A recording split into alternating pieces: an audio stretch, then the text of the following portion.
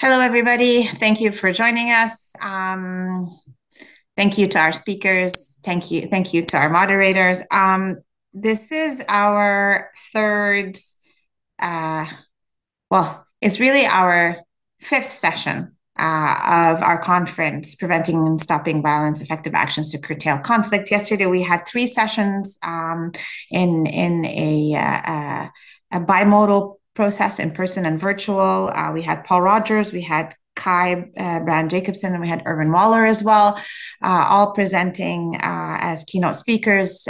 This morning, we had another. Um, another panel discussing Northern Ireland.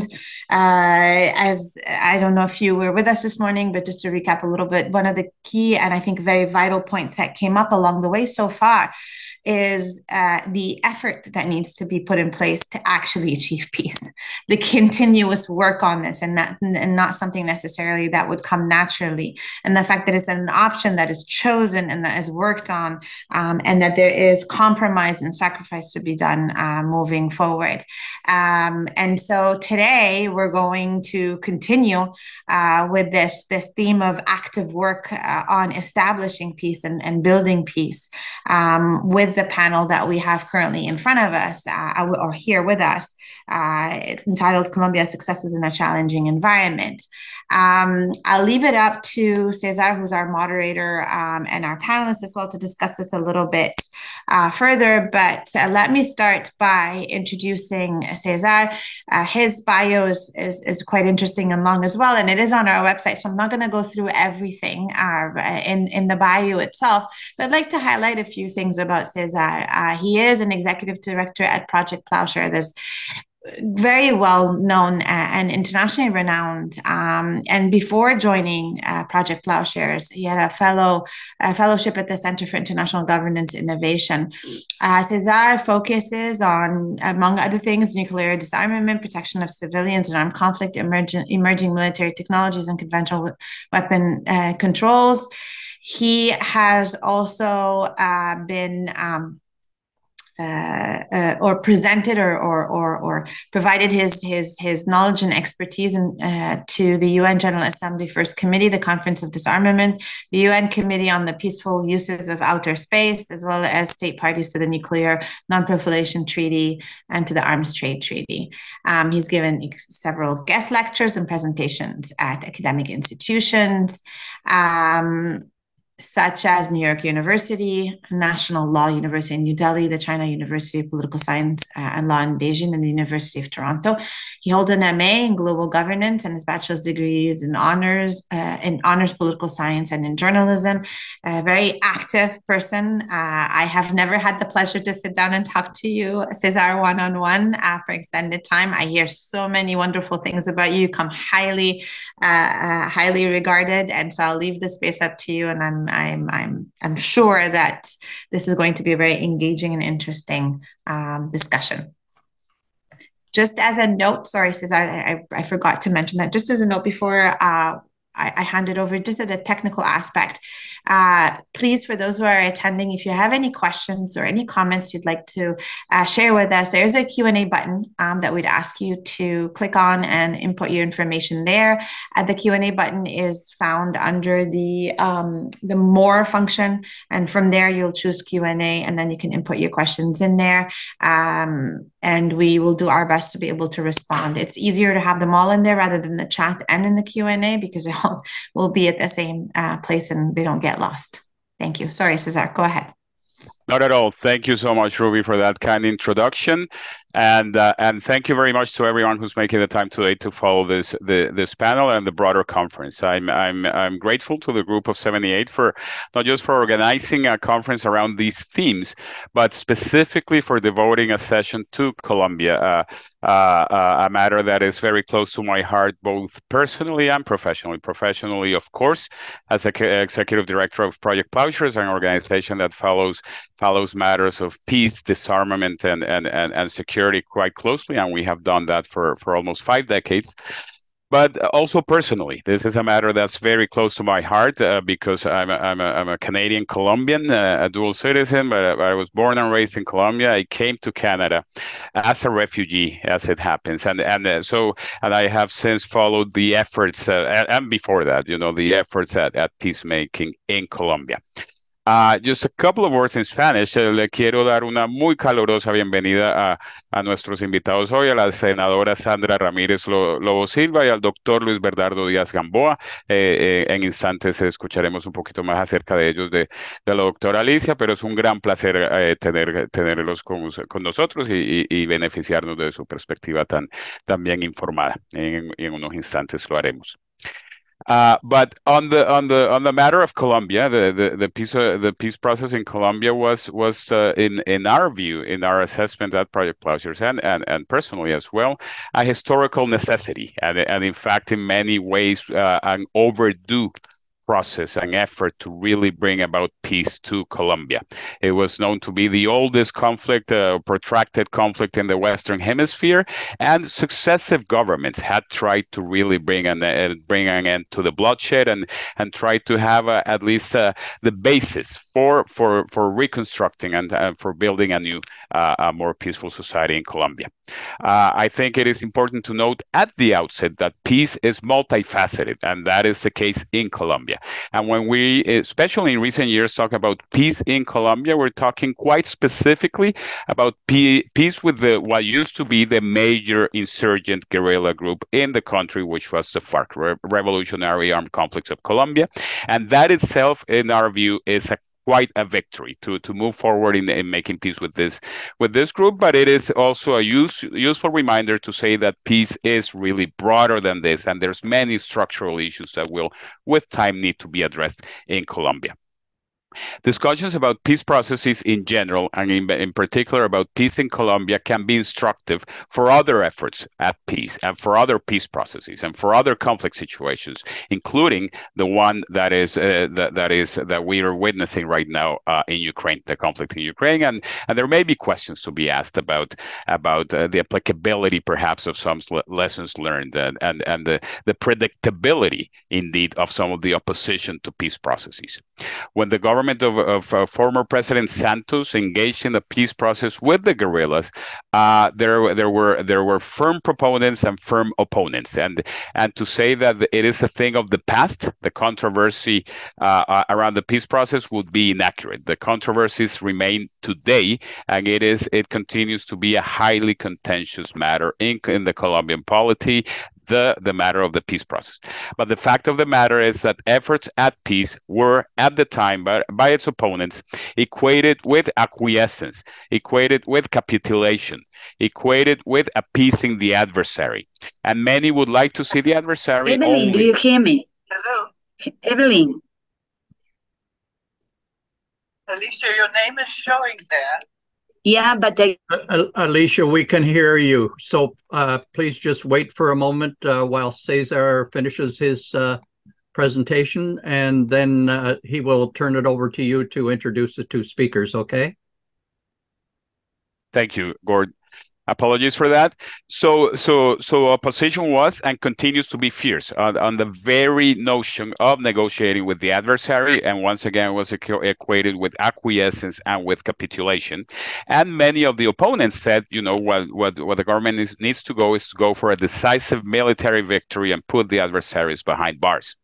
On the other uh, side of the equation, you had proponents of the peace process, and who argued that the only vision, the uh, that justice uh, uh, was broader than simply putting people behind bars, and that there were elements of transitional justice, such as truth, such as a commitment of no repetition, such as such as the uh, uh such as the rights of victims, and put, putting at, that at the center of the debate, that could also be understood to be a form of justice and and a, and a, and a path to bring about the, the the conclusion of the conflict. The matter of political participation of former insurgents became controversial, and it is uh, to this day but the fact of the matter is that that some of the the signatories of the peace process from the FARC have gained political participation and that has, in our view, enriched democracy. And at the end of the day, the grievances that have historically been aired by the guerrillas uh, at this point are not being advanced through the use of arms, but through the democratic means and the democratic institutions and democratic processes in, in Colombia. That, however imperfect, may may present really an uh, an improvement in the in the way in the in the way that the conflict was being uh, that these differences we, were were being waged. So once again, it continues to be uh, quite divisive, but I must say with with no ambiguity that I uh, I am and was a strong supporter of the peace process with the guerrillas, and, and that the that the alternative at the time and now seem to be the prolongation of the conflict, further suffering, further deaths, rather than coming to the table and trying to find common ground in a spirit of compromise and in a recognition that there was no military victory to be had, that that had been the attempt for more than 50 years and still the uh, conflict kept on going.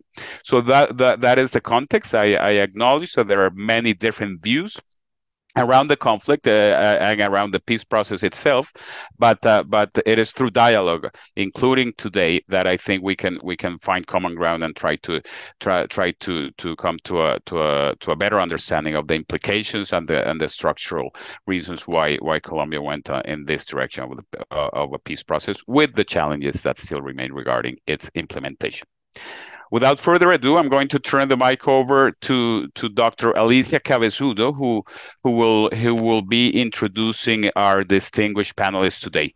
Dr. Cabezudo is a professor emeritus at the School of Education at the University of El Rosario, and she's UNESCO Chair on Culture, Peace, and Human Rights of the National University of Buenos Aires. So, Dr. Cabezudo, the floor is yours, and thank you very much.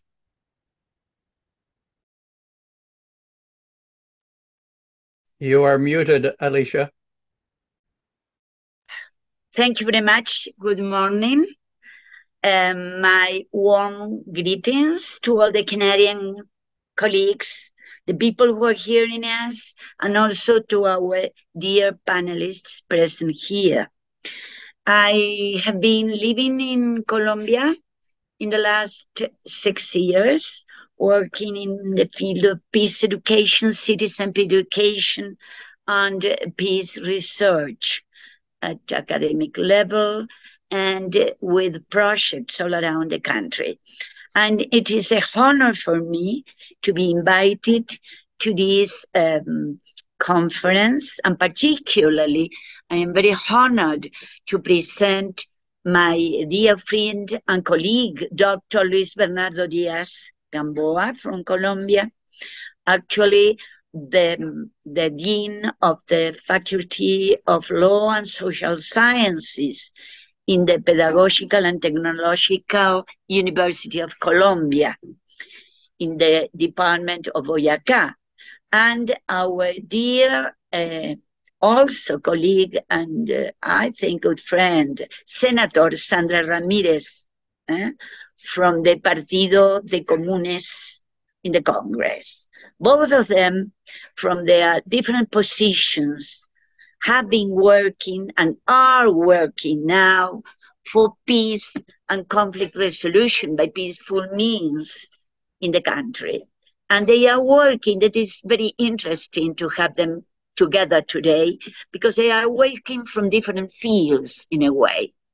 Uh, Sandra Ramirez as she will tell us and share her story, is an ex guerrillera hmm, that had been coming and starting her um, work in the Partido de los Comunes as a political party coming after the Havana agreements in 1916.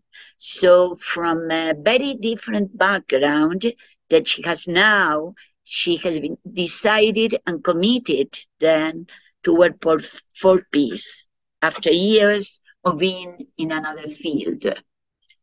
Uh, Dr. Professor Ramirez is a member of the Peace Commission of the Congress in the Republic of Colombia from 2022 to 2026. So she has now two years and a half more to be in this Commission of Peace in the Congress. She is also uh, vice president of the Commission on Human Rights from 2020 to 2021 and vice president of the Senate from 2020 to 21 as well. She is now also a student, and this is very important to be highlighted. She's not only a senator, she's also photographer, she's a very good friend to peace organizations and communities in Colombia, but also she's actually studying. Eh? So, because she can't time and space to do that before. So, it is a special case for us and very uh, interesting to hear first her history and then afterwards I am going to present Dr. Luis Bernardo Diaz Gamboa, tell a little bit about him, and also from where he's working for peace. So, uh, if you allow me, then we give the, the, the word and the desk to Diaz Sandra Ramirez. Thank you very much. Entonces ahora le damos la palabra a la senadora eh, Sandra Ramírez Lobo Silva. La senadora Ramírez va a hablar en español y simultáneamente vamos a compartir en la pantalla el texto de su presentación en idioma inglés, más o menos según el ritmo de, su presentación para que vamos siguiendo en tiempo real en los dos idiomas. Muchas gracias y eh, senadora. Esperamos con mucho entusiasmo su presentación. Muchas gracias. Bueno, good morning es lo que aquí podemos decir, good morning, pero buenos días para todos y todas, para los panelistas, para Luis Bernardo, para Alicia, para ti César. Muchísimas gracias por la invitación, para Ruby que vi por ahí, para Samuel, para Marlon, quienes están ahí conectados. Muchísimas gracias por la invitación, por darme la oportunidad de compartir con ustedes una experiencia única en Colombia y es esta experiencia de la paz. Y por eso extiendo mi saludo, un saludo especial a todas y todos los presentes en tan importante escenario que se constituye como un pilar de construcción de paz, de reconciliación y humanidad, el cual se hace tan necesario no solo en Colombia, sino en las regiones del mundo que actualmente que actualmente enfrentan cruentos conflictos internos y externos por las diferentes causas que, por las que hayan surgido.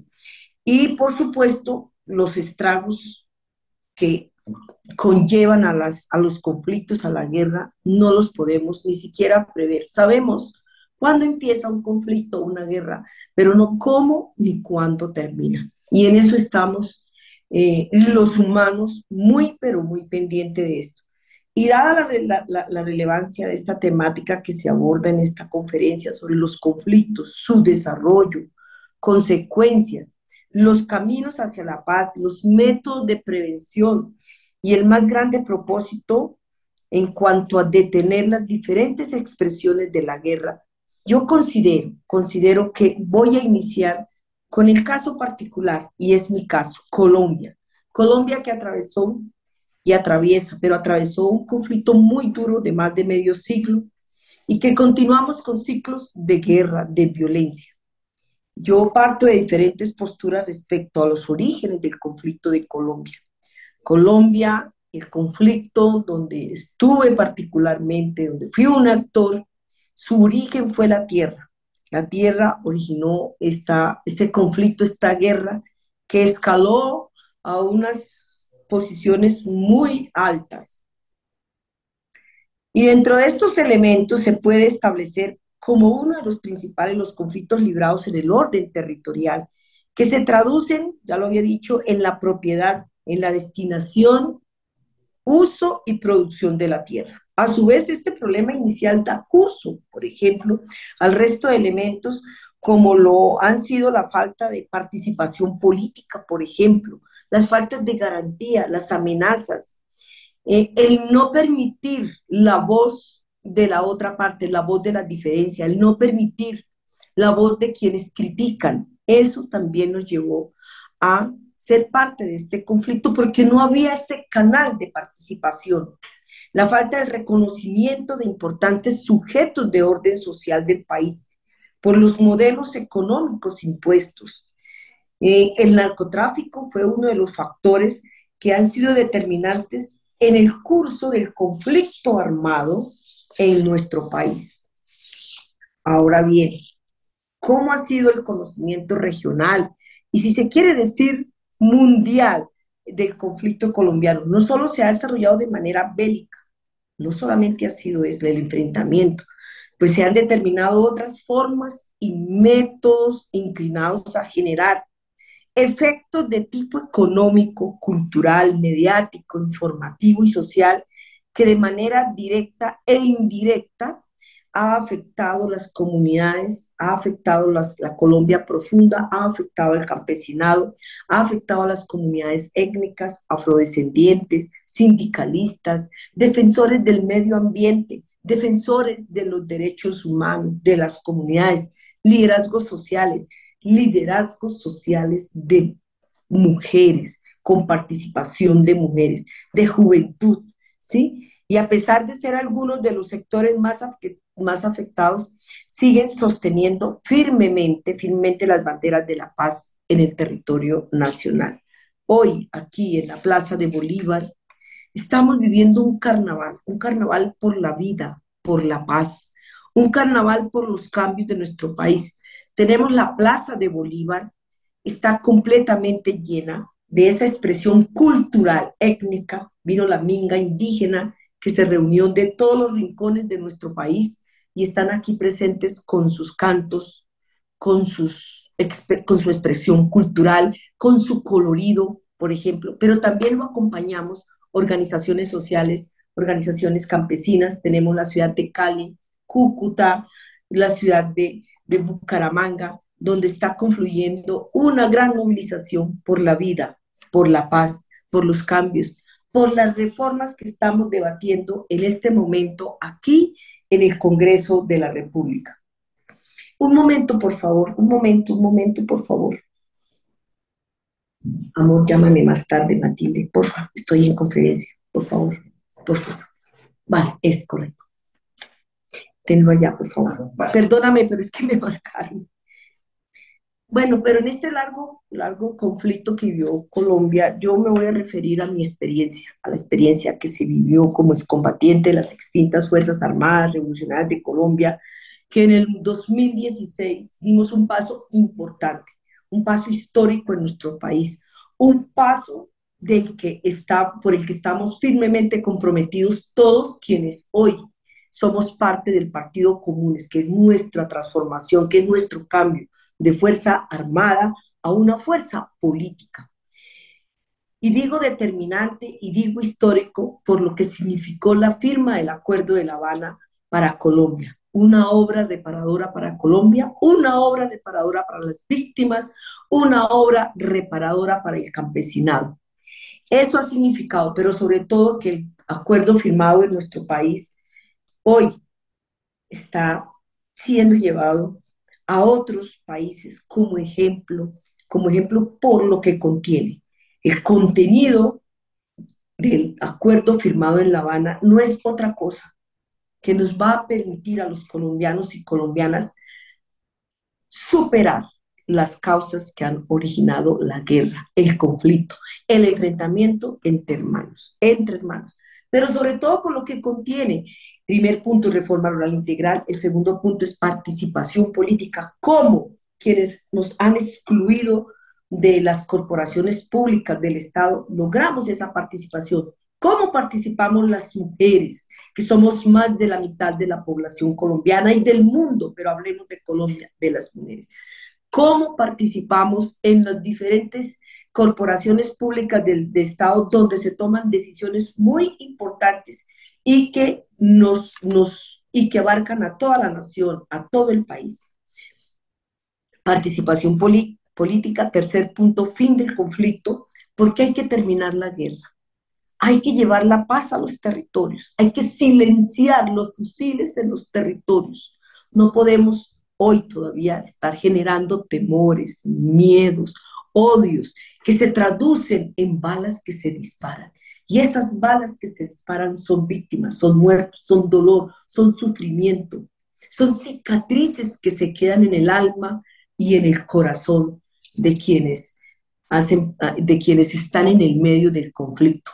Por eso nosotros apoyamos sin dilaciones la paz total del gobierno de Gustavo Petro, de nuestro presidente Gustavo Petro. La apoyamos de corazón, la apoyamos con las manos, la apoyamos con los pies, porque sabemos, estuvimos allá y hoy, si alguien nos ha enseñado la resiliencia, si, si alguien nos ha enseñado es el, conocer y saber el dolor que se siente, son las víctimas, que quedaron en el quinto punto del acuerdo, como ese corazón que late ahí constantemente, como late en la sociedad los casi 10 millones, los casi 10 millones de víctimas, también laten en el acuerdo permanentemente. ¿Y por qué laten?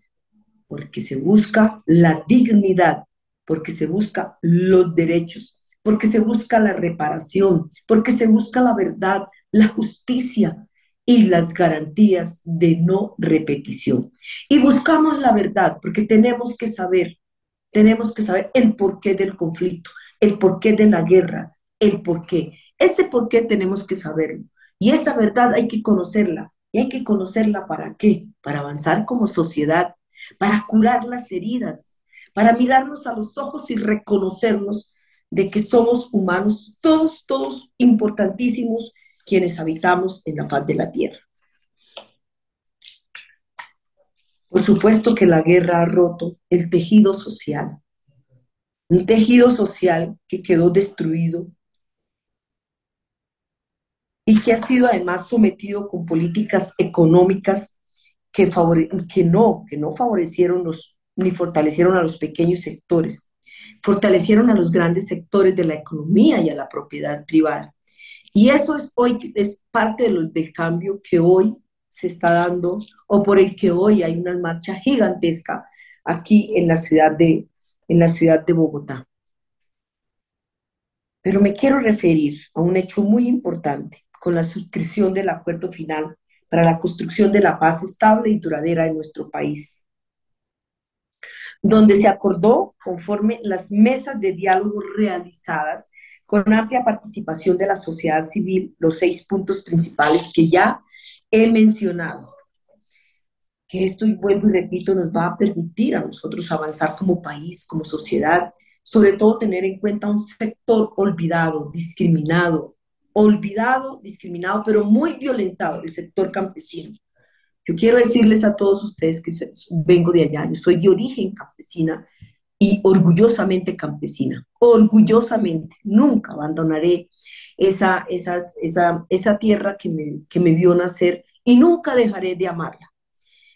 Pero quiero, digo todo esto porque, dado los puntos que se acordaron y el logro histórico en cuanto a que en ese momento la guerrilla más grande y antigua del continente dejara las armas y en su lugar diera paso importante hacia la reincorporación de la vida civil para ser parte de las discusiones de orden político y dar inicio a una nueva expresión y lucha de, ideas de la mano de la sociedad civil, pero demostramos la importancia de lo que significa la experiencia, el diálogo, los argumentos, objetivos en la búsqueda de beneficios colectivos, en donde priman los intereses generales sobre los particulares en donde se rescata esa prevalencia que históricamente, mira, que históricamente ha sido desconocida y que nos llevó a ser uno de los países, como aún hoy no lo hemos logrado superar, porque no lo hemos logrado superar,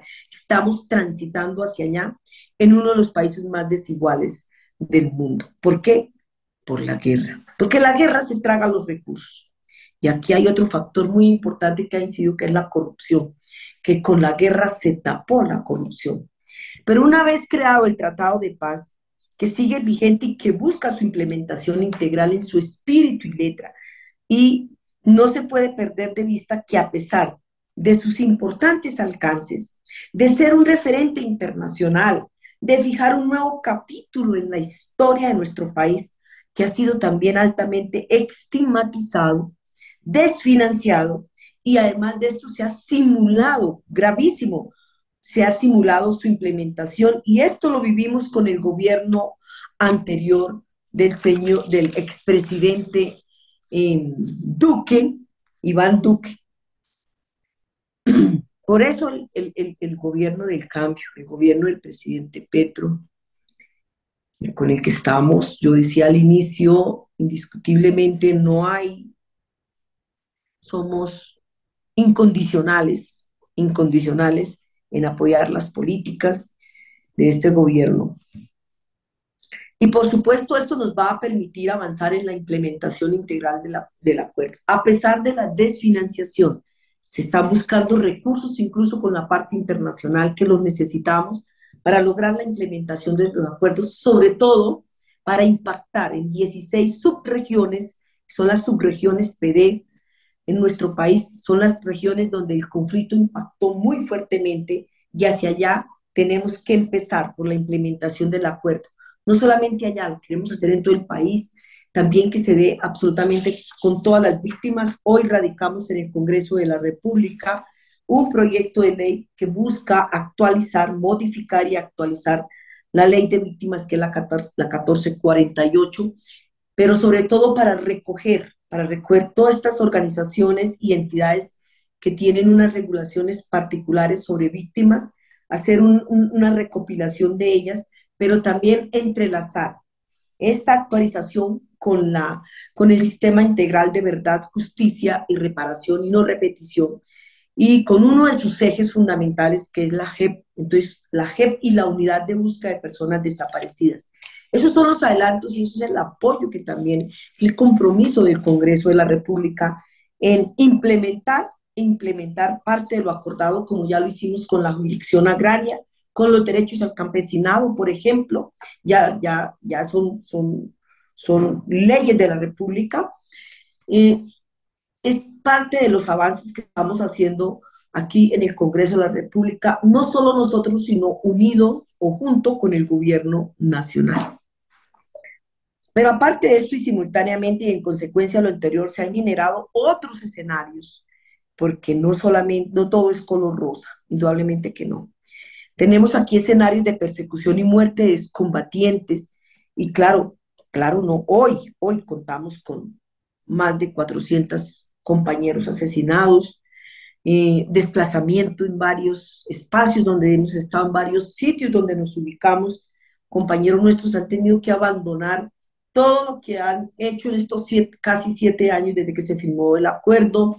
Hoy no somos personas, hoy somos núcleos familiares, entonces han tenido que salir de un espacio, por ejemplo, le tocó desplazarse un poco más de 200 familias, 80 niños, adultos mayores, somos adultos mayores, por las amenazas y la inseguridad que persiste en los territorios.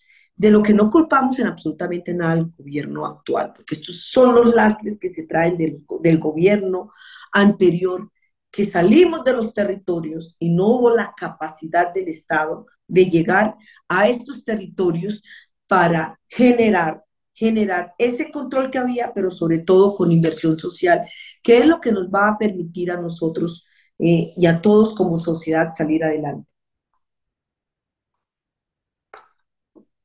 Pero todas estas dificultades y deficiencias en materia de la implementación del acuerdo eh, eh, están bien. Esto también ha permitido seguir avanzando en otros campos. Yo decía, especialmente en el campo político, en donde sin lugar a dudas y con la seguridad del caso se puede afirmar que gracias al acuerdo final de paz, hoy podemos contar con un nuevo gobierno, que ya lo dije al comienzo, pero en esta etapa en la que estamos, contamos con 143 compañeros excombatientes que van, que están haciendo proselitismo político para, para lograr llegar a las corporaciones públicas y en eso contamos un porcentaje de, de 37 compañeras compañeras excombatientes que están haciendo este ejercicio político tan importante en nuestro país.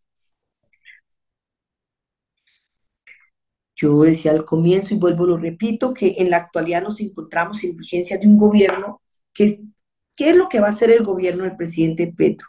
Hacer una transición, una transición de la guerra a la paz. Y esta transición significa también reformas estructurales necesarias para la sociedad, como las que se están debatiendo actualmente en el Congreso y por las que hoy hay una gigantesca marcha aquí en la ciudad de Bogotá, está la Plaza de Bolívar llena. Y eh, donde, donde, ¿qué, ¿qué significan estas reformas? para nuestro país significan dignidad, sobre todo dignidad, y devolver derechos que han sido arrebatados, como la, de la salud, la educación, la reforma pensional, la reforma, la, la jurisdicción agraria, que se han constituido como aquellas que deben ser priorizadas para dar curso a la transición. ¿sí? Conexamente con esto se incluye, por supuesto, una política de paz trazada por parte del, del Ejecutivo en el que se plantea la paz total. Necesitamos la paz total en donde el acuerdo final del 2016 se configura como una piedra angular para generar confianza y en el marco de los acercamientos y mesas de diálogo que se consoliden a la luz de los escenarios de la paz total. Se puede destacar o podemos mejor, podemos destacar Dentro de estos escenarios que se logró avanzar en la construcción de la ley de la paz total es modificar una ley que ya estaba en curso, la ley 418, y para la reanudación de los diálogos con el ELN, por ejemplo, en donde se destaca sus avances y obtención por primera vez en la historia con esta guerrilla de un cese al fuego bilateral por una duración de seis, de seis meses mediante la creación de un mecanismo de monitoreo y verificación, con el cual la comunidad internacional desempeña un importantísimo rol, así como ha sido para nosotros un bastión fundamental para la reincorporación, para parte de la implementación de lo que se acordó. También en esta ocasión la comunidad internacional está cumpliendo un rol muy importante y asimismo, pues hemos logrado acercamientos con importantes sectores del, del, denominado Estado Mayor, que son las disidencias de las FARC, con quienes el gobierno prevé poder instalar una mesa nacional de diálogo igual que la que se tiene con el ELN. Esto es muy importante porque es avanzar hacia la paz total. Y a su vez también Mira, realizar importantes acercamientos con grupos paramilitares como las autodefensas gaitanistas de Colombia, las autodefensas conquistadores de la Sierra Nevada, con quienes se tienen importantes retos en el orden político y jurídico. Y en cuanto a otras acciones, a destacar el trabajo articulado entre la sociedad civil y el poder ejecutivo y legislativo, fue alcanzar el reconocimiento constitucional del campesino, ya lo había dicho, el campesinado como sujetos de derechos políticos, constitucionales, por ejemplo, ha sido un avance importantísimo que, se dio, que, que, realizamos en el Congreso de la República. Con este panorama y en cuanto a los asuntos de paz, yo pienso que se hace necesario seguir avanzando en la construcción de las reformas estructurales que necesita nuestro país. Colombia, el Estado colombiano tiene una deuda histórica con la sociedad. Y es el momento de avanzar, es el momento de avanzar con estas reformas estructurales, devolver derechos y dignidad, derechos que no es otra cosa que educación, salud, vivienda, vías, vías que nos reclaman a diario en la Colombia profunda, por ejemplo, ¿sí? Y poner en marcha la reforma rural integral porque creemos firmemente, y así es, que quien pone un plato de comida en la mesa son los campesinos. Y Colombia tiene que empezar por ahí. Nuestro país, nuestra sociedad tiene que empezar por ahí. El reconocimiento, pero no solamente el reconocimiento y los derechos, sino también cómo empezamos a, em, a apoyar, a apoyar sin dilaciones que nuestro campo sea próspero, que nuestro campo se desarrolle a iniciar un proceso de agroindustrialización del campo colombiano. Hacia allá tenemos, vamos a caminar eh, firmemente con el, de la mano del gobierno del presidente Petro. Sentaremos las bases para iniciar. Esto sería por el momento. Estamos firmemente comprometidos. No daremos un paso atrás Nuestros pasos van hacia adelante, lentos, pero van hacia adelante.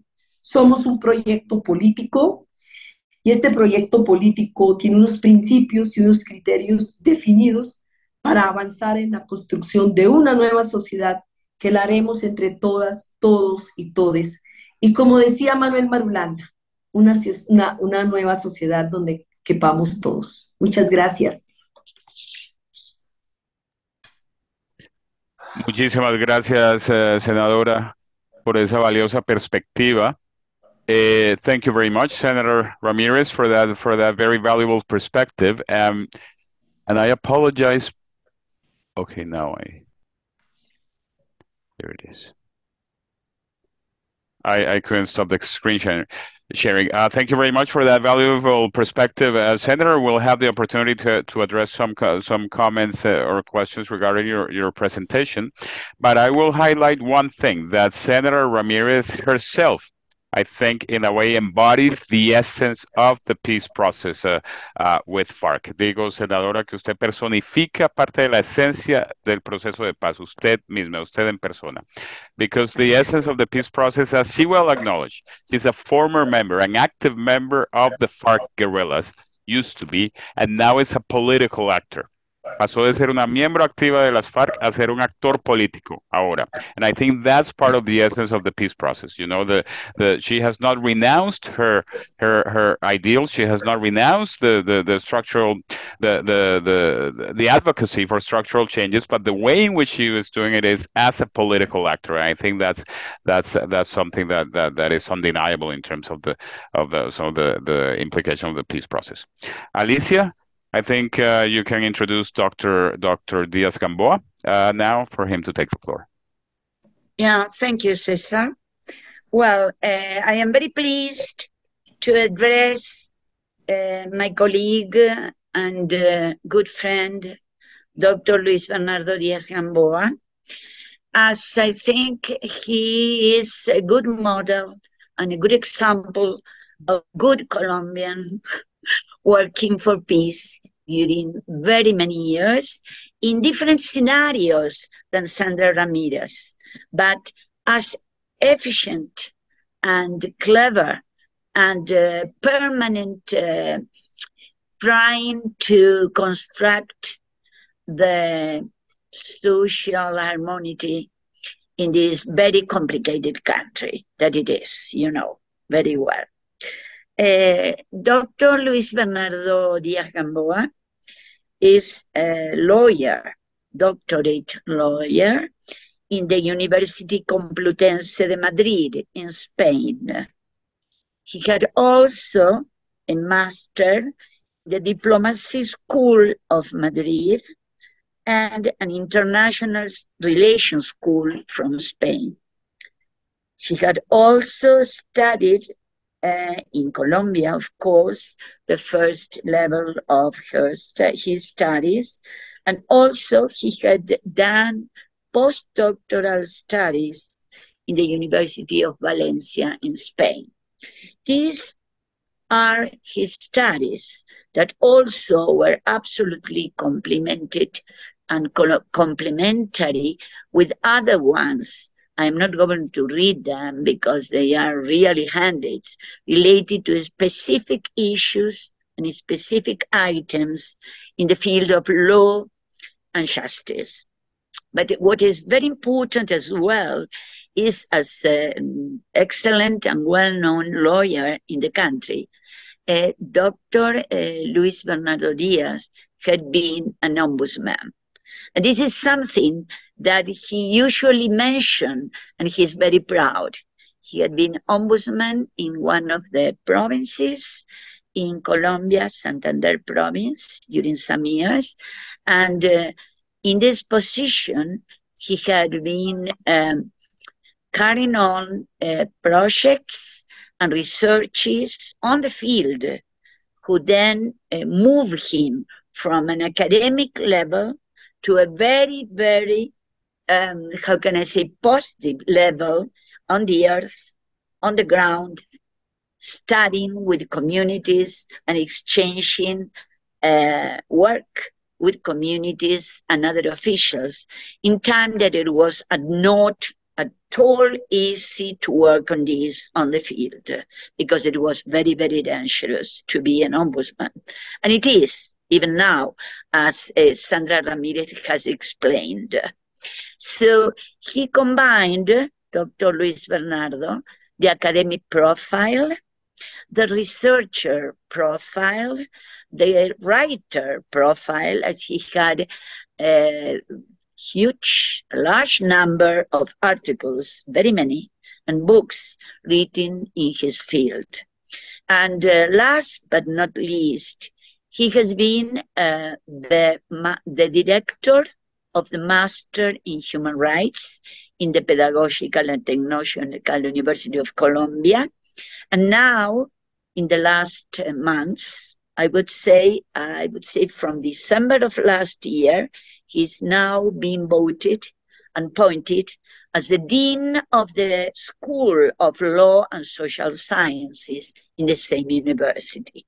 So here we have a man that have an academic profile, a writer profile, a researcher profile, and also I would say a political profile, because Dr. Luis Bernardo Diaz have uh, never, never stopped saying what he thinks about politics in Colombia and who he supports in Colombia. And this is something that not all the academics do. So thank you very much, Dr. Luis Bernardo, to be with us. He's also, I have to say, a very active member of GAMIP, International Board and Latin American Board, and he has helped very much to our organization to grow and work in this country and in Latin America. Thank you very much. Thank you, Alicia. We're we're certainly fortunate to have uh, to have our esteemed colleague, Dr. Diaz Gamboa, writer, academic, researcher. So we we will certainly benefit from your, from his perspective. Dr. Diaz Gamboa, la palabra la tiene usted. Muchas gracias. Good morning. Civilian Peace Service Canada, Global Alliance for Ministries, Department and Infrastructure for Peace, GAMI. Saludo a Peace and Conflict Studies Association of Canada and African Book Box Society. Eh, un saludo muy especial para la doctora Alicia Cabezudo, al doctor César Jaramillo, a los doctores Evelyn Gordon, al grupo de los 78, a la senadora Sandra Ramírez y a quienes nos acompañan. Voy a plantear el avance del gobierno de Gustavo Petro en la construcción de la paz en Colombia. El pueblo colombiano eligió al presidente Gustavo Petro en el año 2022, cansado de 200 años de gobiernos de élites que gobernaron a espaldas del pueblo. Hay que decir cuál es el origen del presidente Petro. Petro fue guerrillero del movimiento 19 de abril, M19, organización insurgente que nació en 1970 luego de que se produjera el robo de las elecciones de ese año, donde el pueblo votó por el general Gustavo Rojas Pinilla para presidente y las élites adulteraron los resultados en las urnas, dándole el triunfo a Misael Pastrana Borrero. El gobierno del presidente Petro se ha centrado en lo político, en impulsar el programa de, de paz total dialogando con todos los grupos al margen de la ley, buscando crear escenarios como mesas de diálogo para poner fin a la violencia, especialmente alimentada con recursos del narcotráfico, como en el caso del clan del Golfo. Un punto muy importante ha sido el de afianzar el proceso de paz con las extintas Fuerzas Armadas Revolucionarias de Colombia, FARC, las cuales firmaron con el gobierno su incorporación a la vida civil en el año 2016, dando como resultado un proceso de paz reconocido a nivel internacional, tanto así que el presidente de entonces, Juan Manuel Santos, recibió el Premio Nobel de la Paz por parte de la Academia de Estocolmo. La implementación del acuerdo de paz entre el Estado colombiano y las FARC ha sido difícil, pues en el gobierno anterior de Iván Duque se intentó hacer fracasar dicho acuerdo por medio de diferentes maniobras dilatorias y obstruccionistas.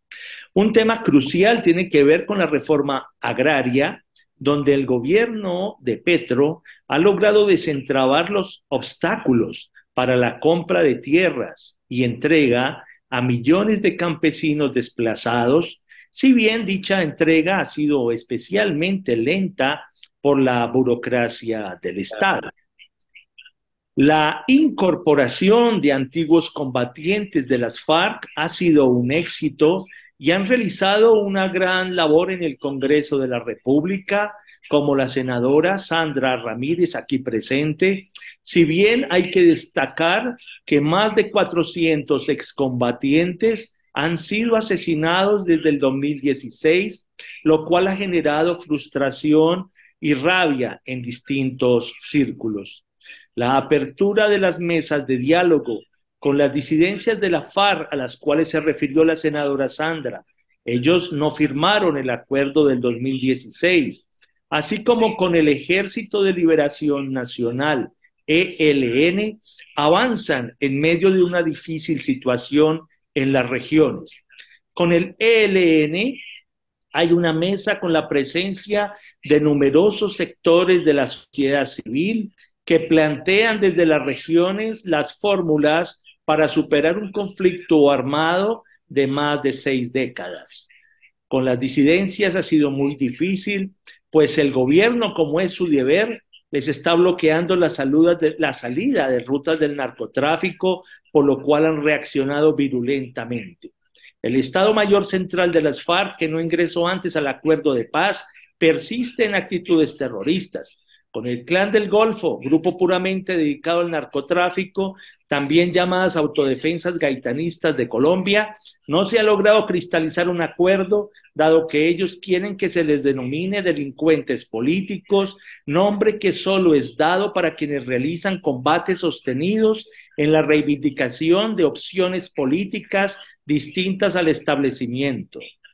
Otro grupo que nació durante el anterior gobierno es el de la nueva o segunda Marquetalia, que aspira a sentarse con el gobierno Petro a negociar, pero con un obstáculo legal, cual es que en la ley de jurisdicción especial para la paz, para estipulado una especie de castigo para quienes rompieran con el proceso de paz, y es que no pueden volver si se salieron del proceso.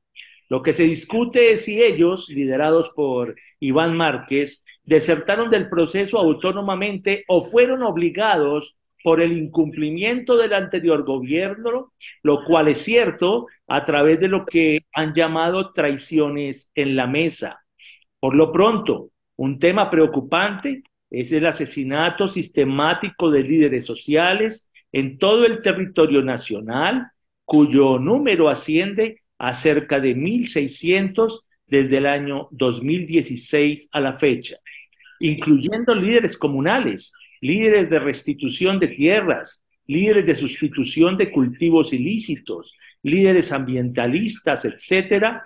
En octubre de este año habrá elecciones regionales y municipales y la violencia afecta a más de 100 municipios, lo cual incide en la democracia en dichas regiones.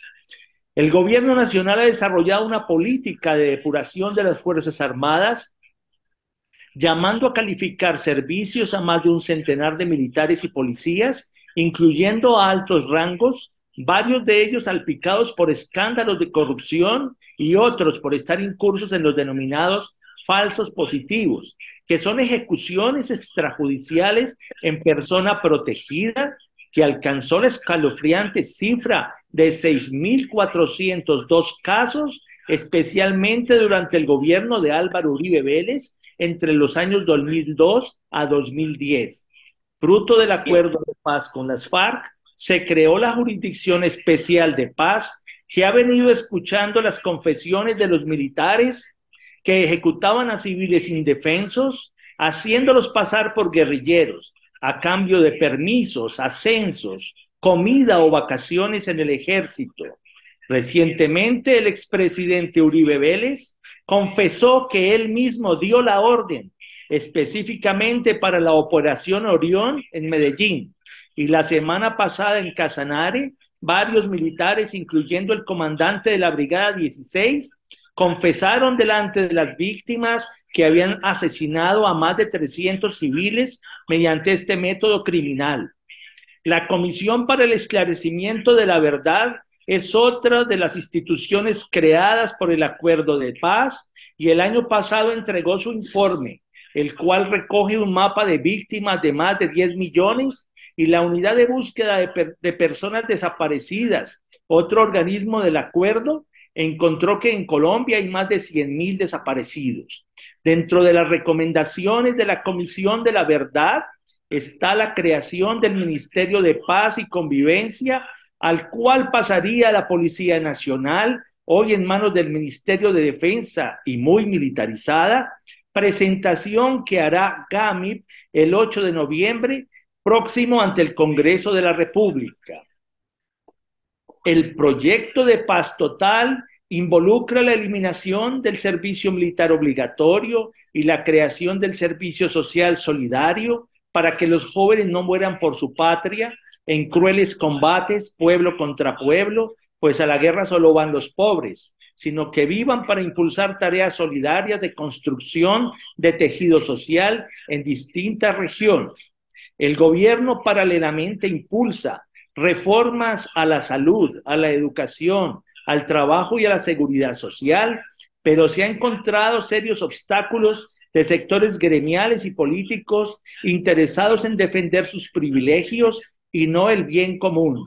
El presidente Petro considera que esos derechos no deberían ser, como hoy lo son, mercancías transables en el mercado, sino derechos exigibles del Estado, eliminando intermediarios que en forma habilidosa se apropian de los recursos públicos a través de mecanismos corruptos.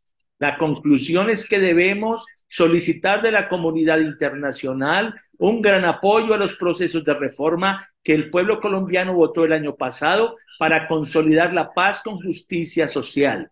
Hoy, como lo dijo la senadora Sandra, centenares de miles de personas están saliendo, no solamente en la Plaza de Bolívar de Bogotá, sino en las calles y en las plazas, apoyando los proyectos de ley del gobierno que buscan la justicia social. Ese será el producto de la paz por total por medio de la construcción de un gran acuerdo nacional. Thank you very much.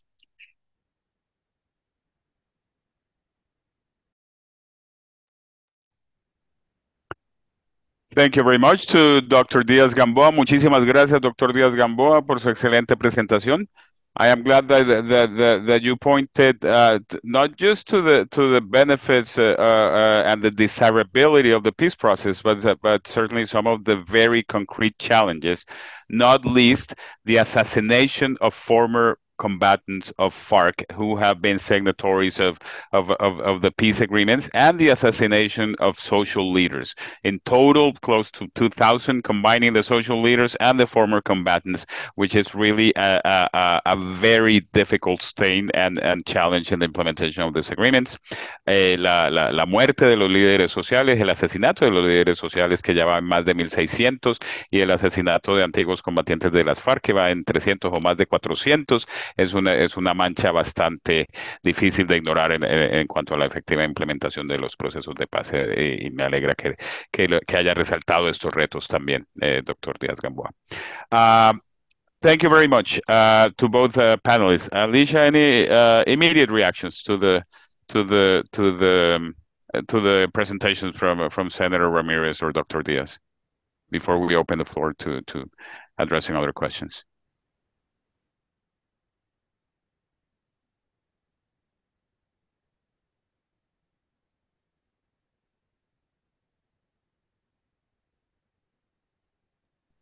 Alicia, the floor is yours.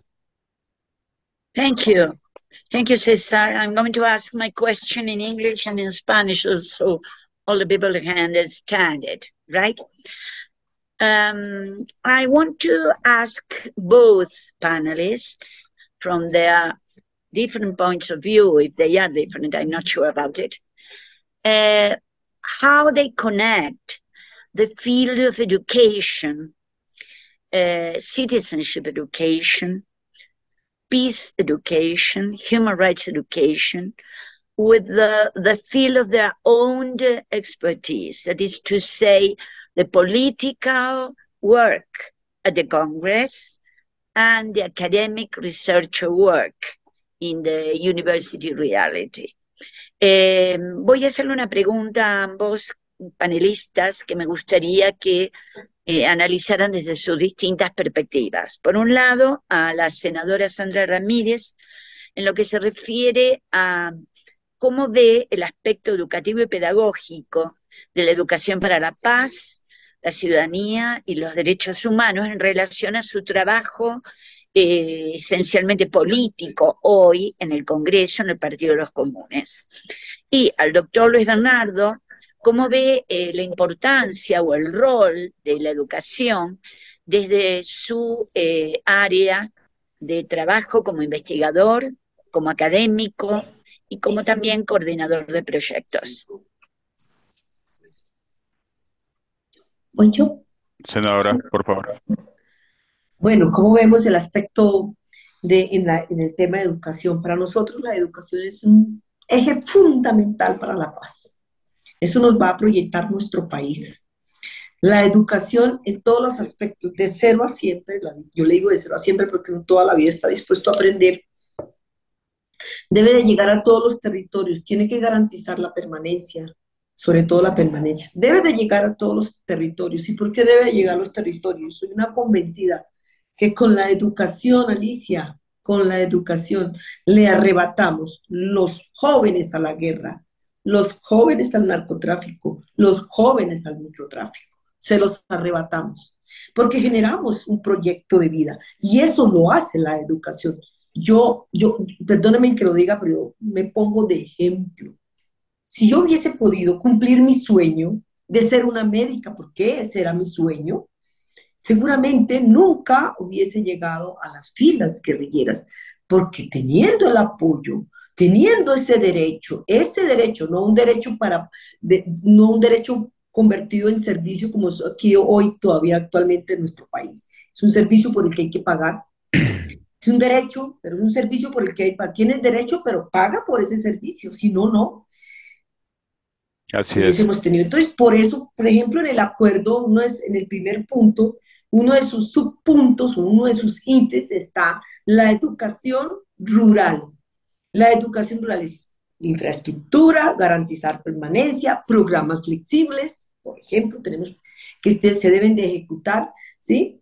Y no solamente eso, es garantizar que la ciencia llegue al campo, no solo al campo, a la ciudad, pero yo como vengo de allá, pues sé las enormes dificultades que tenemos en, en, en los campos de Colombia. En los campos de Colombia necesitamos, César, que tú me estás ahí escuchando, necesitamos abogados, necesitamos médicos, necesitamos arquitectos, ingenieros, agrónomos, o tecnistas, veterinarios. Todo se necesita también en nuestros campos. Necesitamos ingenieros de alimentos, ingenieros industriales, por favor, de todo se necesita allá. Pero un joven, para que se quede allá, en el campo, tenemos que tener unas garantías y cuáles son. Primero, la paz que ese joven se pueda mover para donde quiera. Segundo, calidad de vida. Ajá, un trabajo digno. Así como se le garantiza su, su, educación, el trabajo digno. Calidad, vías, conectividad, que eh, eh, se prepara y todos los días va a necesitar estar actualizando y aprender cosas nuevas. Pero en sí, para la paz, la educación es fundamental. Empezamos de ahí porque la educación nos incluye, la, educación nos participa, la educación nos genera proyectos, sobre todo proyectos de vida. Así es, senadora. Ah, me voy a permitir traducir eh, brevemente eh, a, nuestra audiencia. Eh, So the senator, in her answer, of course, of course, uh, uh, very strong support for education as a pillar for peace, and, and, she frames this as a as a key axis of the peace process in Colombia. But she she she makes an emphasis on on, on education, not just in general, but a, a crucial element is education that reaches the territories. She, when she reaches in, in Colombia, there's a big there is a historical divide in access to education between urban and rural centers. Although the, there are other there are other elements, but she made an emphasis that quality education needs to reach the territories, i.e., the rural parts of the country, and quality education. And she put herself as an example of, of the impact of the of education, saying that her dream when she was little was to be to become a physician, a medical doctor, and that uh, that had she had the option to follow the, the, her dream, perhaps she would not have ended up in the in the in, in the FARC as an insurgent. But there were no options to follow that dream, so she ended as as, as an insurgent. So she hopes that there will be peace uh, uh, education that reaches the territory in a way that it is it is uh, quality education, that it, it provides incentives for for for students to stay in the rural area areas, that there are employment opportunities, and that will, uh, on the long term, make a positive change uh, for peace. Thank you. Gracias, César. ¿Y algún comentario acerca del impacto de la educación, doctor Díaz? Eh, para sí, la doctor, paz. Doctor César Jaramillo. Eh, efectivamente, y doctora Alicia, en el caso de la educación para la paz, la ciudadanía, y los derechos humanos, desde la Universidad Pedagógica y Tecnológica de Colombia, hemos buscado, por un lado, transversalizar estos temas en el currículum, es decir, imbuir, impactar las diferentes asignaturas que tenemos con la construcción de educación para la paz. En ese sentido, hemos construido una serie de escenarios importantes como el Tribunal Internacional de Opinión Trino, donde nos acompaña la doctora Alicia Cabezudo y otros magistrados y magistradas de alta talla, para, recordando los tribunales de Bertrand Russell, pues entrar a realizar investigaciones sobre violaciones masivas a derechos humanos y señalar responsables para que, fallando en conciencia, se entre a divulgar pedagógicamente ese tipo de responsabilidades. También realizamos la séptima cumbre de GAMIP el año pasado de la Alianza de Infraestructuras y Ministerios de Paz y avanza muy bien la preparación para presentar próximamente en noviembre 9 el proyecto de ley de Ministerio de Paz para Colombia. Ese es muy importante y la senadora Sandra seguramente va a ser pieza central en el impulso de ese ministerio, porque es una de las recomendaciones de la Comisión para el Esclarecimiento de la Verdad, crear el, la, el Ministerio de Paz Era eso lo que quería responder y creo que también Evelyn y Gordon estaban preguntando sobre ello sobre cómo contribuía la universidad y, eh, la, en, los procesos de peace building, de construcción de, de, paz e igualmente desde el punto de vista de mm, internación, de la comunidad internacional, cómo podría construir o contribuir a esos procesos, pues evidentemente estamos eh, desde GAMIP y desde las alianzas que tenemos a nivel internacional eh, impulsando este tipo de iniciativas, siempre pensando en el progreso y en la integralidad de los derechos humanos, donde la paz es un derecho humano fundamental. Muchísimas gracias, eh, doctor Díaz, y complace mucho que, que, que, desde su misma universidad estén contribuyendo a, a, a estos esfuerzos de, de, de, diversas maneras.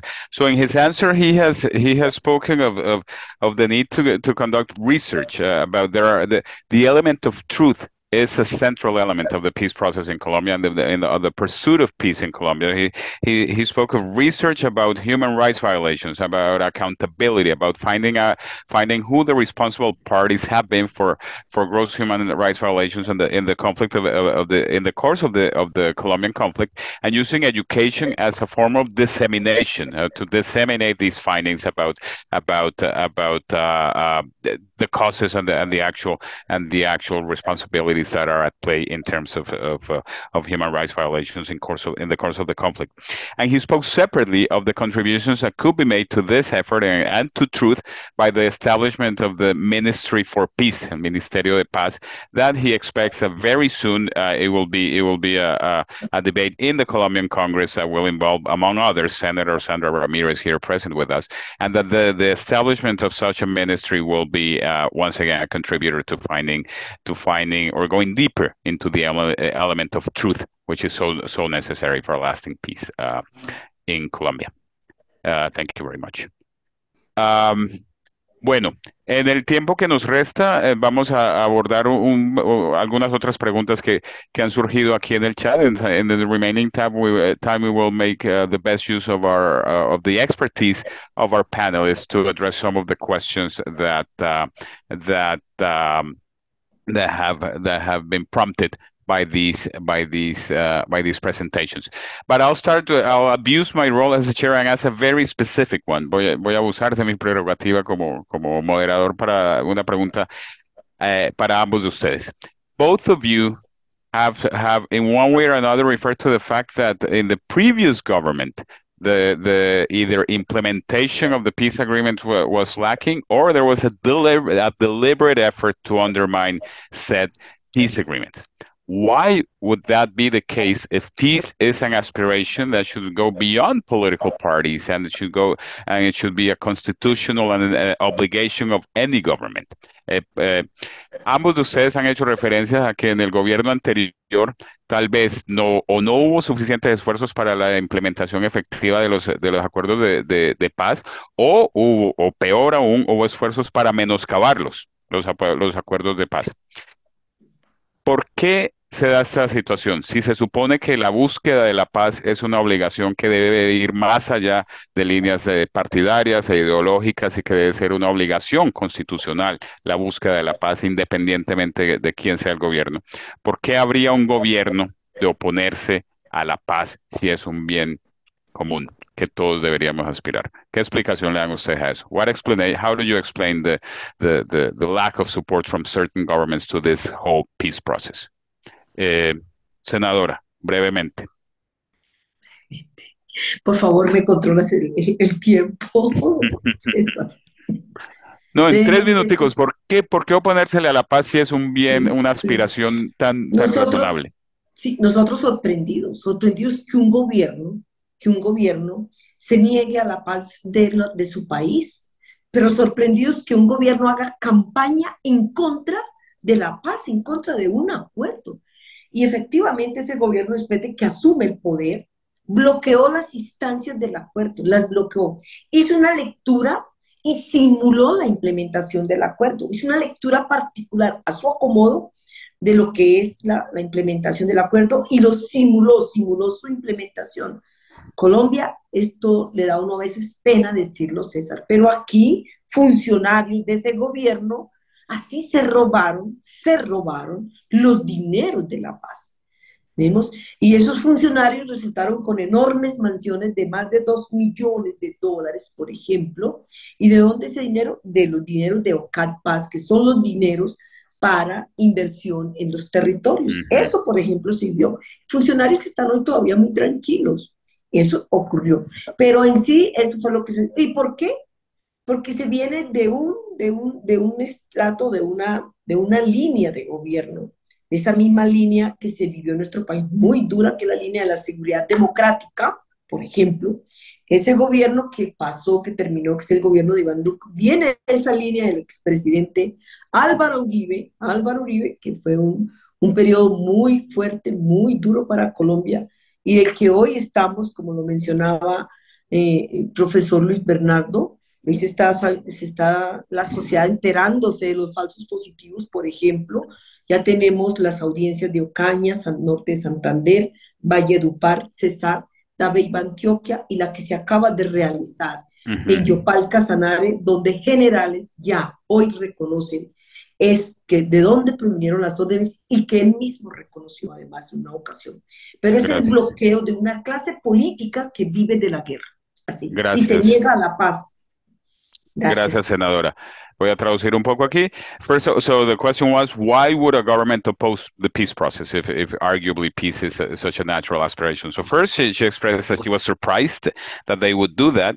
She expressed her disappointment that there were, there was even some theft from officials from that government of of uh, or misappropriation of monies that should have been uh, uh, de- destined to, to support the, the peace efforts were actually misappropriated and, and, and in, in some instances some some some uh, government officials ended up in, in, cases of corruption with with some of these monies but she sees this, uh, in the case of the previous government, of the co- continuation of, of the policies of former President Uribe, which who was known for a heavy-handed approach to insur- to to to insurgency, and and whose uh, whose military officials have been implicated, and some have admitted to being implicated in the what has been called the false positives, which is the extrajudicial assassination of innocent people to to make them seem as insurgents to inflate the numbers of, uh, and, and the operational success rate of the, of the, of the armed forces.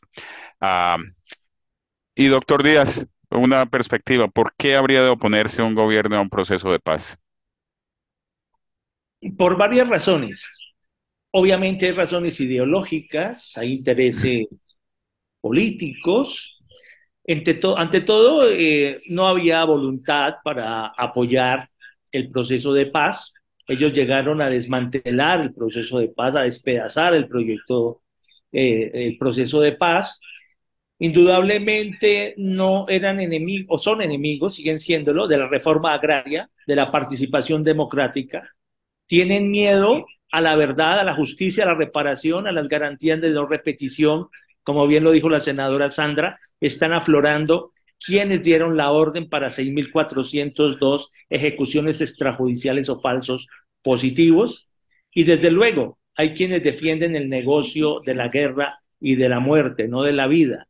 Eso tiene todo un trasunto eh, teórico en lo que se llama hoy la necropolítica de Achille Bembo, un camerunés, que mm, entra a recoger teorías de biopoder y biopolítica de Michel Foucault y de Giorgio Agamben, que me parece importante destacarlo aquí.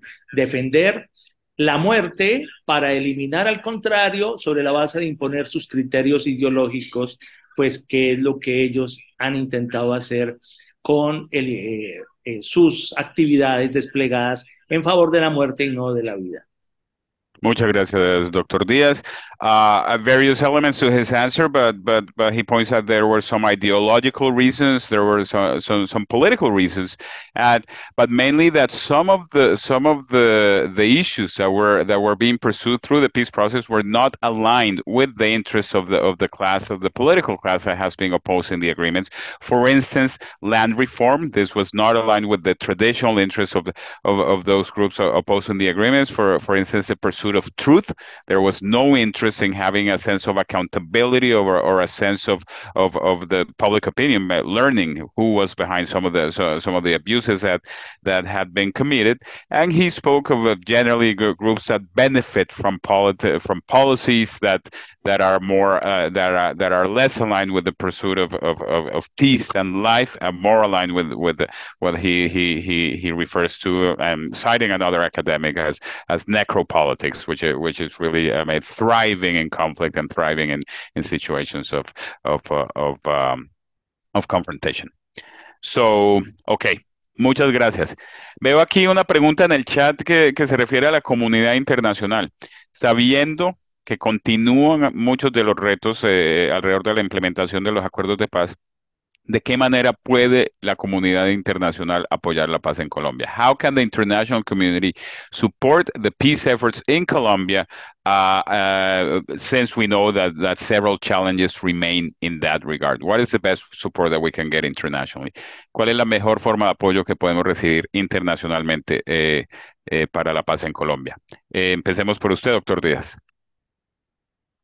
Gracias, doctor César. A mí me parece importante destacar en principio que la comunidad internacional ha jugado un papel trascendental para acompañar el proceso de paz que se hizo en el 2016 con las FARC.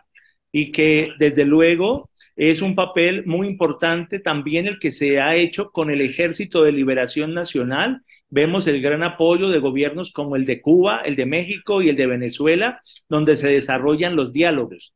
Por eso el llamado sería para que la comunidad internacional acompañe los actuales procesos de paz que el gobierno nacional eh, adelanta, eh, no ceje, no dé el brazo a torcer en su empeño de estar acompañando ese, esos procesos y también contribuya con cooperación internacional al desarrollo, que nos parece que desde la cooperación para proyectos de emprendimiento sea, eh, juegan un papel muy importante, especialmente para comunidades abandonadas, a, comunidades afrodescendientes, comunidades étnicas, comunidades pobres de las ciudades y de los campos que requieren un apoyo, por ejemplo, en el proceso de sustitución de cultivos ilícitos para producir comida, para el tema referente al emprendimiento, a las pequeñas MIPIMES, eh, industrias y empresas.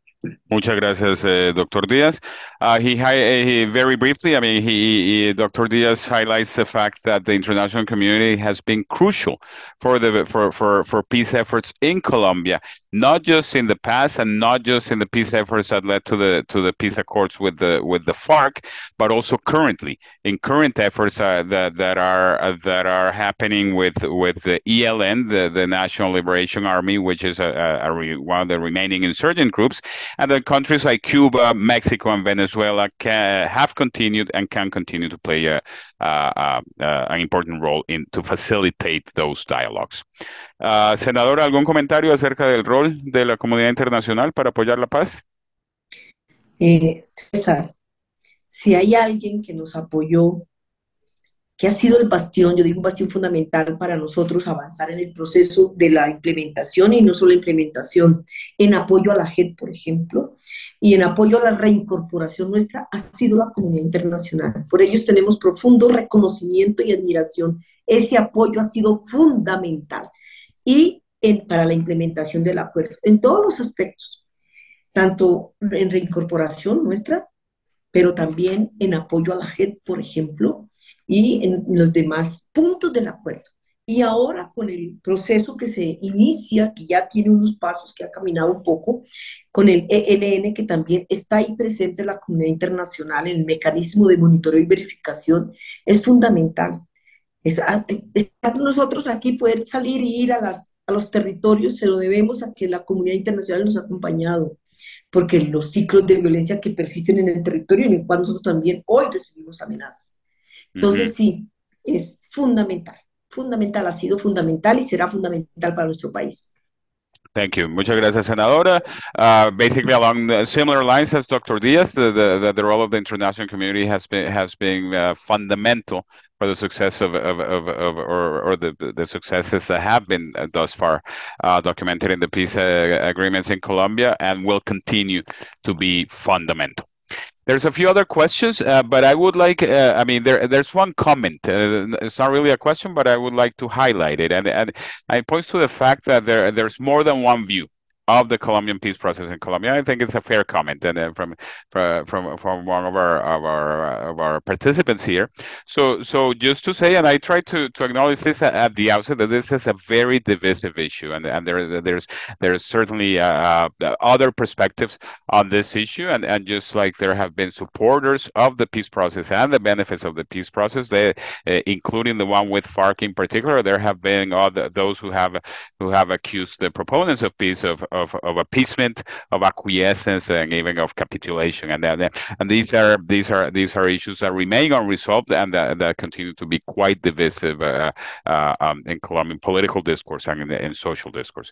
Solo para decir brevemente que uno de los comentarios del chat dice que con, con toda la razón que hay, que hay más de una perspectiva y que no todos apoyan el proceso de paz y que, y que no todos están convencidos de los beneficios que ha traído y que, y que, quienes lo han criticado, eh, incluyendo el proceso con las FARC, han acusado a, a, los proponentes de la paz de, de, de, de rendirse, de, capitular y de, y de, y de, y de, y de dar concesiones que no, que no se ameritaban.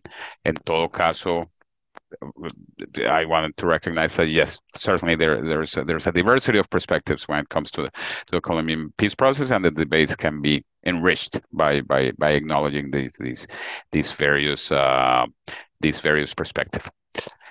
Uh, why in 2016? Someone someone mentioned uh, in the chat and is wondering about why was the the environment ripe for negotiations uh, with the FARC. If, if, different governments had had pursued this historically over decades, what why was the, the environment different that it allowed for the negotiations? ¿Qué tenía de diferente el, el, el panorama político, militar o estratégico para que se, pudiera avanzar en las, en las negociaciones de FARC, eh, en las negociaciones de paz con las FARC. Si, se habían intentado durante décadas varios gobiernos de distintas, vertientes políticas, lo, habían intentado, ¿por qué sí cuajó en este intento de, de, del gobierno Santos? Eh, senadora. What was what was different? What made the conditions right for this uh, for this peace process to to move forward in 2016? César, por favor, me controlas el tiempo. Sí. ¿Por qué me controla el tiempo? Porque esto es una historia larga. Nosotros nunca nos, suspendimos los diálogos, nunca. Los iniciamos en 1982 con el gobierno de Belisario Betancourt. ¿Por qué no avanzamos en esa época? Porque no hubo voluntad política del gobierno. Nos tocó pasar 32 años de guerra, muchísimos muertos, muchísimos desaparecidos, una guerra que escaló para que un gobierno, que eso sí hay que reconocérselo a Juan Manuel Santos, aquí donde esté, Juan Manuel Santos, su gobierno, sí mostró voluntad política y reconocimiento a una insurgencia que tiene un proyecto de país. Porque mira que cuando el gobierno del expresidente Uribe nos empezó a enviar razones para que nos sentáramos a conversar, propusimos condiciones y una condición nuestra era aquí o en la frontera. Pero el expresidente nos respondió que una condición de él era que teníamos que entregar las armas, que teníamos que rendirnos. Esas eran las condiciones del, del gobierno del expresidente. No, por favor, no vamos a entregar las armas, no nos vamos a rendir porque no estamos rendidos, no estamos derrotados. Golpeado sí, porque en la guerra se golpea, porque así que se golpea, lo, al contrario, uno también recibe golpes. Y, y eso es la guerra. Pero es muy diferente a que te digan, no están rendidos. Pero lo que sí le reconocemos, y vuelvo y repito al gobierno de Juan Manuel entonces la voluntad política de buscarle una salida dialogada al conflicto de Colombia. Y eso fue lo que se logró con la firma del acuerdo en el 2016, después de 30 años de conversaciones, con diferentes gobiernos. Nunca nos levantamos de la mesa. Fueron los gobiernos que siempre utilizaron un pretexto para cortar con los diálogos. Muchas gracias, uh, Senadora. Thank you very much for for for that response. Someone like the explanation uh, revolving around the central theme, political will. Voluntad política that that that, uh, in her, from her perspective and to the credit of the of the Juan Manuel Santos government uh, there was there was the required political will to recognize that that that, that it was necessary to come to the negotiating table with an insurgent group uh, and uh, and that that political will had been lacking in previous governments and and that and that the that um, that was a key factor that enabled the negotiations when they, they did happen around 2016. Eh, doctor Díaz. Gracias. ¿Por qué sí se pudo esta vez, si había habido tantos intentos? A mí me parece que, eh, y para absorber también una inquietud del chat con referencia a las diferentes perspectivas sobre el conflicto y que hubo concesiones y capitulaciones, a mí me parece que un avance fue la construcción de un modelo muy original reconocido por sectores internacionales como, por ejemplo, centros de pensamiento eh, de, paz a nivel internacional. Eh, igualmente, la Corte Interamericana de Derechos Humanos, las Naciones Unidas, la Comisión Interamericana de Derechos Humanos, recogiendo experiencias como la de Irlanda del Norte, como la de Sudáfrica y otros conflictos que llegaron a acuerdos, se construye un sistema de justicia transicional, que es un acuerdo imperfecto, sí, pero donde se coloca a las víctimas en el centro de la negociación. Es claro que las FARC no podían aceptar la entrega de las armas y la rendición a cambio de ir a una cárcel. Eso no podía ser. Eran unos actores políticos y como tales exigían una negociación política. Y eso fue lo que se hizo precisamente. Y por ello eh, se avanzó en esa línea de acuerdo político que me parece que hoy es estudiado a nivel internacional en los mejores centros del mundo, precisamente como un ejemplo de acuerdo para la concertación, el diálogo y la convivencia pacífica. Muchas gracias, Dr. Diaz. So uh, again, the question was what, what, was different this time around in, in around the, the peace process with the FARC. Uh, Senator Ramirez spoke of the political will, and Dr. Diaz uh, uh, has centered his answer around the merits of the agreement itself that the, that it was a, an internationally recognized agreement uh, that that was seen to be a modern agreement that that took the lessons learned from from similar processes in places such as Northern Ireland uh, and South Africa. That it is uh, today the subject of study in the academic institutions, etc. That placed the victims at the center of the peace efforts, the rights of the victims uh, of the of this uh, long conflict, and that uh, the nature of the agreement itself was a, was a, was a significant factor that would that that facilitated its success uh, this time around. Uh, once again, uh, when when previous efforts had failed. Mm, Muchas gracias. Nos acercamos al final de esta sesión. We're, we're nearing the end of this session. In fact, we're, we're just five minutes over the intended end time, but uh, these are such rich issues that uh, that uh, there's always there's always I think appetite for a bit more discussion. I think we're, we're going to uh, uh, uh, aim to wrap up in the next five to seven minutes. In any case, just to respect the, the time of our panelists and the time of others here present who may have other commitments. Entonces vamos a tratar de, de terminar en los próximos cinco a siete minutos con disculpas de que ya nos pasamos unos, unos cinco minuticos del, del tiempo eh, previsto. Hay una pregunta aquí en, el, en, el, en la sección de preguntas eh, acerca de Ucrania. Yo la voy a poner un poquito más amplia. Si tienen algún comentario acerca de Ucrania, está bien, pero en términos generales. El doctor Díaz habló de lecciones aprendidas de, de, de Irlanda del Norte, de Sudáfrica, que se aplicaron a, a Colombia.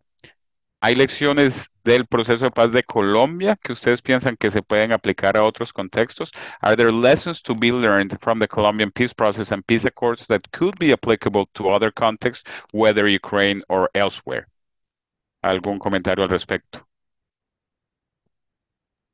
Doctor de Díaz, poner, por favor. De poner, de poner los intereses frente a, a la realidad política, económica y social y supeditar esos, esas posiciones que a veces eh, surgen como inamovibles, como líneas rojas, frente a la realidad de la paz. Es decir, si en un momento dado existen eh, inamovibles, líneas rojas, ¿por qué no entrar a moverlas, cierto? Sobre la base de beneficiar en un gana-gana de las partes en confrontación. Yo creo que aquí ganó, en el caso colombiano, eh, el pueblo colombiano, ganó igualmente el gobierno, ganó igualmente eh, el movimiento de las FARC, ¿cierto? Hoy son representantes en el Congreso de la República, están legislando, están participando en procesos electorales, como lo dijo la senadora Sandra ahora que vienen elecciones en octubre.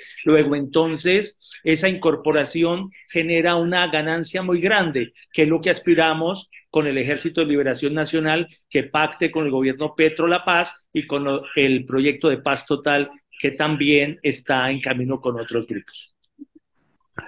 Muchas gracias. Thank you very much, uh, Dr. Diaz. Uh, uh, basically saying that what are red lines or what seem to be red lines don't have to be and they can be moved or they can be somewhat malleable for the for the for the for the pursuit of peace and that if if if, if, the, if the parties involved are willing to move some red lines uh, then uh, there it is possible to reach win-win situations and uh, he believes that in the case of the Colombian conflict it was a win-win situation where there were benefit concrete benefits for FARC but also concrete benefits for for for the Colombian um, state. Senadora Ramírez. Sí. Lecciones Sí, sí, aprendidas que se podrían lecciones aplicar a otros conflictos. Para Ucrania, una lección, no, Ningún conflicto se ha resolvido en la historia de la humanidad en la confrontación, se han resuelto en una mesa de conversaciones.